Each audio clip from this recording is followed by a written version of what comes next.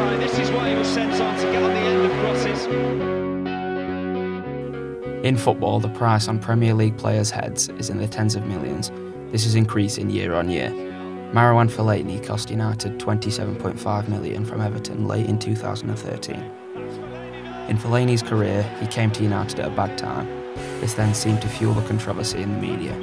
This adds to the constant talks of whether football players are worth their wage. I spoke to two United fans to see their views on Fellaini's career at Manchester United, the silverware he brought to United, the tactical aim of Fellaini, and his price tag.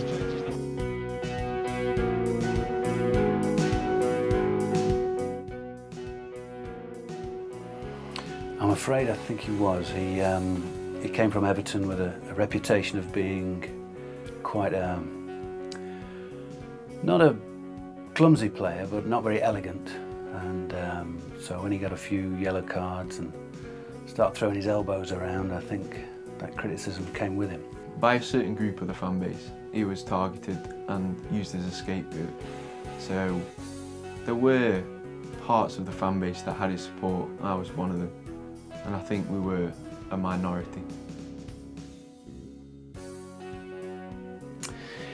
Yeah, I mean, it's easy to forget sometimes his specific performances, but yeah, I think he, he was a, a key contributor, especially coming off the bench, because he's not the sort of player you'd want to come up against if you're a defender.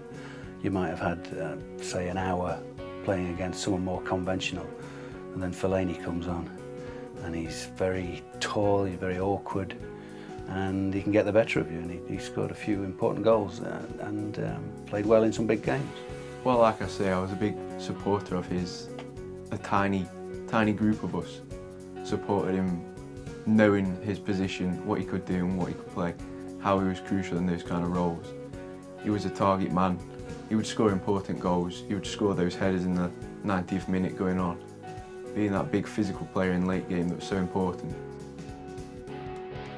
I think so. After a um, pretty average start, yeah, I think he, he got more confident he was perhaps felt out of place after Moyes bought him, but he got more confidence when Van Gaal played him more often, started to score a goal or two, and then he grew as a player. And I, th I think that fans accepted him more, and that meant that whenever he'd come on, he'd quite often come on as a sub, of course, but he, he had that confidence and he, he could make an impact.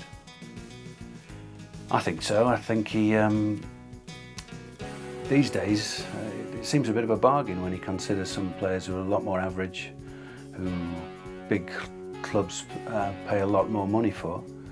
And um, yeah, I think we'd buy him, probably buy him again. I think there's been some games where we've missed him. So I think that was value. Money in today's game is a lot less important than it used to be.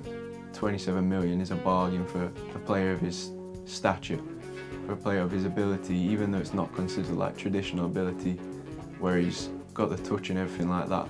Yeah, he displays it in other ways. 27 million is quite a bargain. Feel free to share your opinions on the hashtag Fellaini debate.